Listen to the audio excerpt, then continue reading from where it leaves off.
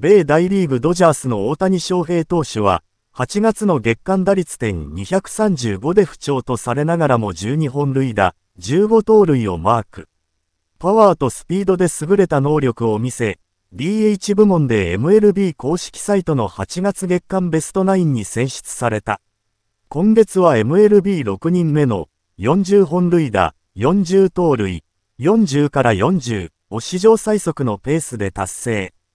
さらに前人未到の43-43にたどり着くなど記録ラッシュとなった。画像、右上部にポツンと記された、大谷が、遠く離れた構成みたい、結出度が一目瞭然な実際のグラフ画像。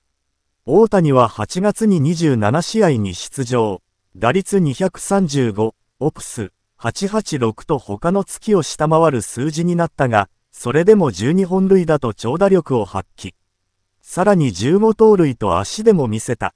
MLB 公式のサララングス記者の X によると、月間10本塁打 &15 盗塁以上をマークしたのは2004年8月のカルロス・ベルトラン。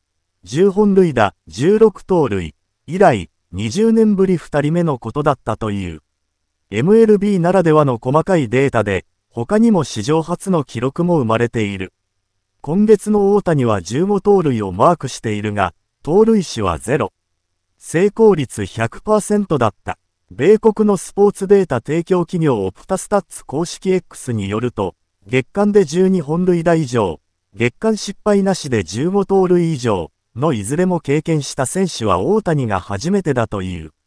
さらに同社 X によると、大谷は今月、1試合の中でホームランと盗塁の両方を記録したケースが6試合ある。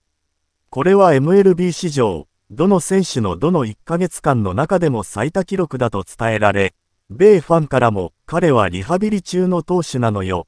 この男は毎晩、非現実的だ。こいつは本物のエイリアンだ。彼が今年投げてなくてラッキーだな。わら、と驚きの声が集まっていた。大谷は現在44本塁打、43盗塁で、すでに1998年アレックス・ロドリゲス、42本塁打、46盗塁の42から42を上回る43から43をマークしている。前例のない45から45どころか50から50の可能性まで視野に入る。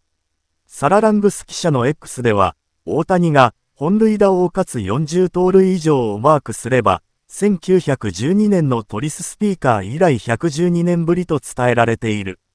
右肘の手術の影響で野手に専念しているが、今季も歴史的シーズンを送っている。